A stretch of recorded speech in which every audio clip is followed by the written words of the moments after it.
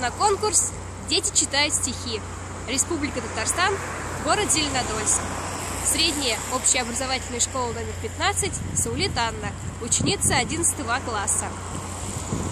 Авторское стихотворение «Новый год в моем городе». Зеленодольском был назван мой город. Сто лет назад человеком мудрым. Но чудо случилось. На несколько дней мой город стал изумрудным. Не верите? Вот посмотрите на стелу, стоящую при въезде в него. И ваше любопытство будет удовлетворено. Все жители вдруг оказались в сказке, но мы очень рады такой проказке. Элли, дровосек и Татошка стали родными на несколько дней нам немножко. Весь город окутан большой доброй сказкой.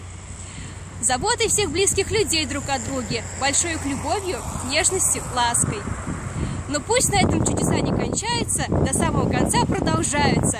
Пусть новые идеи креативные появляются, а желания всех жителей города исполняются.